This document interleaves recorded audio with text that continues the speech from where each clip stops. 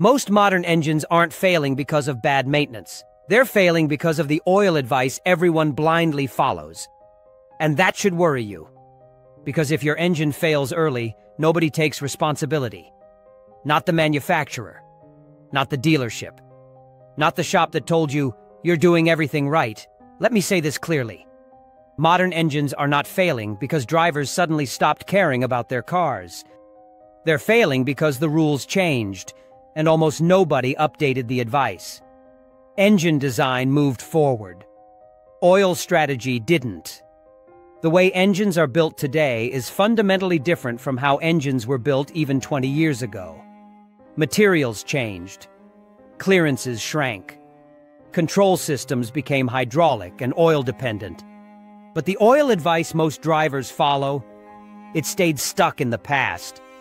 And the results are everywhere roller camshafts failing, hydraulic lifters collapsing, bearings wiping out far earlier than they should.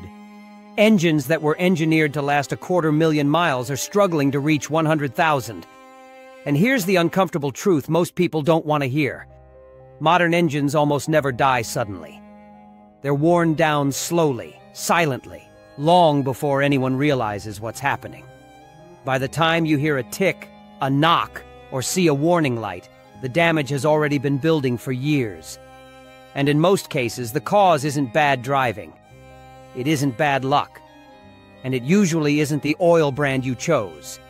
It's something far more basic. Oil contamination. To understand why this matters so much, you first need to understand what oil actually does inside a modern engine. Because oil today is doing far more work than most people realize. Section 1. Oil is no longer just a lubricant. Most drivers still think engine oil has one job. Lubrication. That thinking comes from older engine designs, where oil's primary role was simply to reduce friction between moving parts. That thinking is outdated.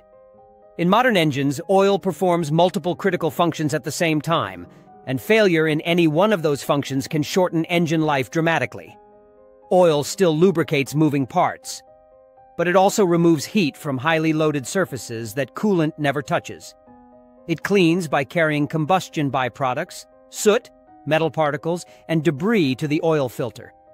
It protects internal components from rust and corrosion during cold starts and short trips.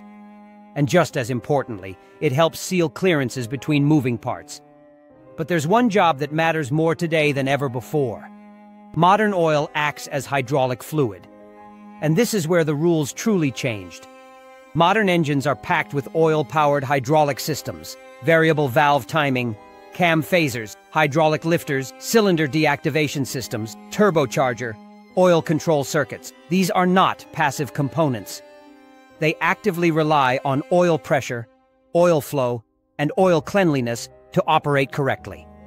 If oil pressure is unstable, these systems misbehave. If oil is dirty, these systems wear internally. If oil viscosity drops due to dilution, these systems fail.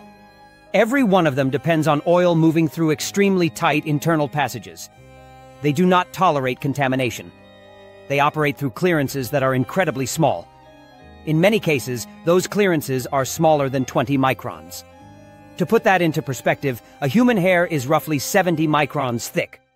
So we're talking about oil flowing through passages far smaller than anything the human eye can see. When oil is clean, these systems work flawlessly and silently.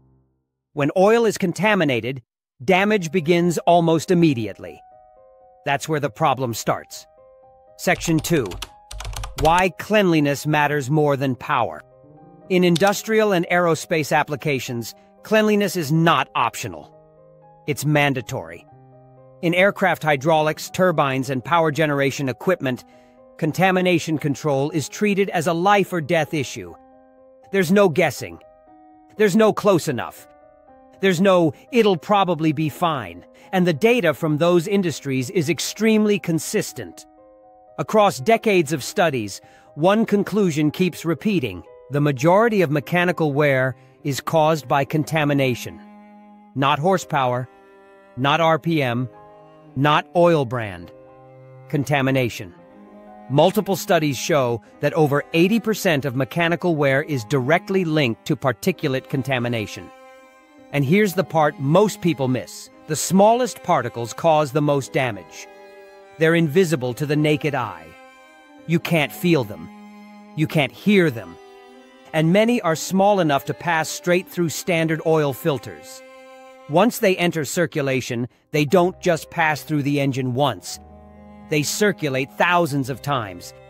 Every pass creates micro damage, abrasion, erosion, material fatigue, and this damage starts below the surface, long before anything breaks or makes noise. By the time a component finally fails, the real damage has already been done. Section 3. Why engine failures seem sudden. When an engine finally fails, People almost always say the same thing. It just happened out of nowhere. But in reality, it almost never does. The failure process is slow, quiet, and completely predictable. Here's what actually happens. A hard microscopic particle becomes trapped between two moving surfaces. Instead of load being spread evenly, that load concentrates into a tiny contact point. Material strength is exceeded, a subsurface crack forms. That crack grows with every heat cycle, with every acceleration, with every cold start. Eventually, the surface can no longer support the stress. And suddenly, a cam lobe wipes. A lifter collapses. A bearing spins. To the driver, it feels instant. To the engine, it's the final step of a long, slow process. Same physics that create potholes in winter roads. Different machine. Same failure mechanism. Section 4. OEM oil intervals and the reality of wear. Now let's address the elephant in the room. Factory oil change intervals. 10,000 miles. 15,000 miles. Lifetime fluids. Those intervals were not designed to maximize engine longevity. They were designed to reduce advertised ownership costs. Short maintenance schedules look expensive on paper. Long maintenance schedules look attractive in marketing brochures. But engines don't care about marketing. And nowhere is this more damaging than during engine break-in. Break-in is the highest wear period. The highest wear an engine will ever experience does not happen at high mileage. It happens early. During break-in, several things happen simultaneously. Surface roughness is at its highest. Machining debris is still present. Clearances are stabilizing. Material transfer is occurring. Oil analysis data makes this crystal clear. During early break-in, silicon contamination spikes. Metal particles increase dramatically. Wear rates are often three times higher than after break-in. And here's the key problem. Not all of that debris is captured by the oil filter. It circulates through hydraulic lifters, cam phasers, bearings, oil control solenoids. Again and again. Waiting 5, 10, or 15,000 miles for the first oil change allows that debris to continue circulating. That damage is permanent. No oil upgrade later can undo it. Section 5. What racing environments taught us. In racing and performance environments, this became obvious very quickly. Engines that received multiple early oil changes showed dramatically longer camshaft and lifter life. Same parts, same suppliers, same loads. The only difference? Contamination control. Clean oil early prevented damage that would have shown up much later. This isn't magic. It's mechanical reality. Section 6. Why oil brand matters less than you think. Here's another uncomfortable truth. Oil cleanliness often matters more than oil brand. Fresh oil straight out of the bottle is not perfectly clean. Oil that has circulated briefly through a high-efficiency filter can actually be cleaner. Filters also behave in ways most people don't understand. As a filter loads, its efficiency often improves. Constantly resetting filters can temporarily reduce filtration performance. That's why oil change strategy matters more than oil loyalty. Section 7. Oil change intervals should follow engine life. One oil change interval does not fit every stage of an engine's life. Early engine life, shorter intervals to remove break-in debris. Midlife engines, longer intervals once surfaces stabilize. Late engine life, shorter intervals again as wear becomes less predictable.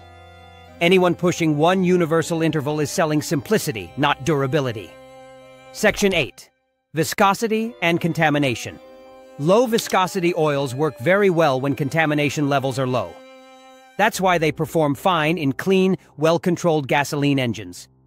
But introduce fuel dilution, soot, dirty injectors, extended drain intervals, and wear accelerates rapidly. In higher contamination environments, thicker oils often show lower wear because they maintain protective film strength under load. That's not opinion. That's data. Section 9. Why additives often make things worse. Solid additives, nanoparticles, and friction reducer gimmicks all have one thing in common. They increase particle count.